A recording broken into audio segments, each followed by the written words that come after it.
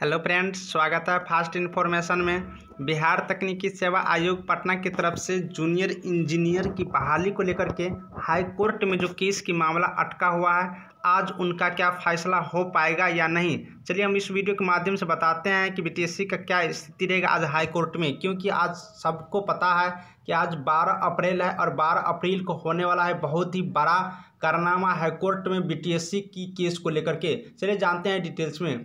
दोस्तों मैं आपको बता दूँ कि जैसे कि आप लोग को सबको पता होगा कि आज 12 अप्रैल का जो केस हियरिंग रखा गया है, वो आप लोग को कॉज लिस्ट आ गया है कॉज लिस्ट तैंतीस नंबर में आया है। और जो कि कैरी फॉरवर्ड होकर के 9 अप्रैल को कैरी फॉरवर्ड हुआ था, और वो आप लोग को 12 चार 2021 के लिए लिया गया था। इसको और डिटेल्स में समझाते हैं, और आपको आज पता चल जाएगा कि पॉजिटिव न्यूज़ आएगा या नेगेटिव आपको हम दिखाते हैं, सबसे पहले आज का जो कॉज लिस्ट बना है, पटना हाई कोर्ट का, वो दिखा देते हैं। ये आज का कॉज लिस्ट बना हुआ है, आप लोग खुद से भी देख सकते हैं पटना हाईकोर्ट के लिए जिसमें आ, आ, ये आप लोग डाउनलोड करके भी देख सकते हैं। इसमें हम बता दूँ कि जैसे हम लोग को केस नंबर अट्ठाईस सौ तिरानवे है उसको हम सर्च करते हैं। अट्ठाईस सौ तिरानवे केस को सर्च करेंगे तो आप लोग को यहाँ पर स्पष्ट देखने को मिल जाएगा।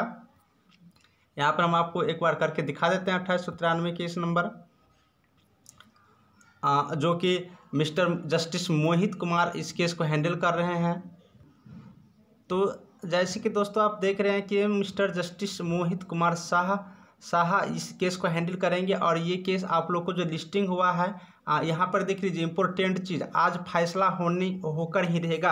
अगर आज केस सुन लिया जाता है सारे रिस्पोंडेंट और जो उसका पिटिशनर है सारे अगर वहाँ पर रहते हैं तो ये केस अगर सुन लिए जाते हैं मिस्टर जस्टिस मोहित कुमार शाह के द्वारा एडवोकेट के द्वारा तो यहाँ पर क्लियर हो जाएगा, क्योंकि यहाँ पर लिखा हुआ है for order matterly specially adjourned adjourned by judicial order carry forward on the instruction of the court.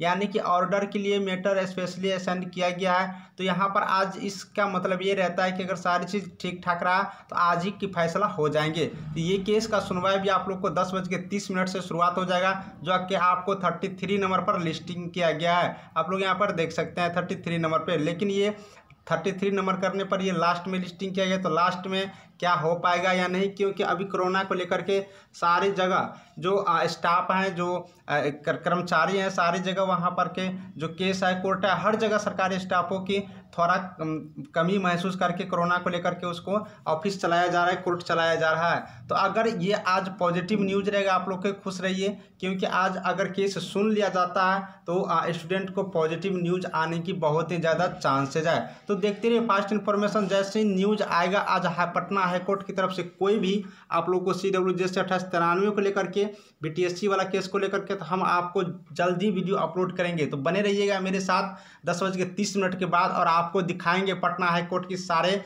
खास खबरें। तो दोस्तों, आप लोग को सर पॉजिटिव न्यूज़ ही आएगा, क्योंकि आज ऑर्डरली तैंतीस नंबर पर लिस्टिंग किया और तैंतीस नंबर बहुत ही कम होता है। तो जैसे जानकारी आएगा, हम आपको शेयर ज़रूर करेंगे। फिर मिलते हैं कुछ नए चीज़ों का लेकर के अगले वीडियो में। Thank you for watching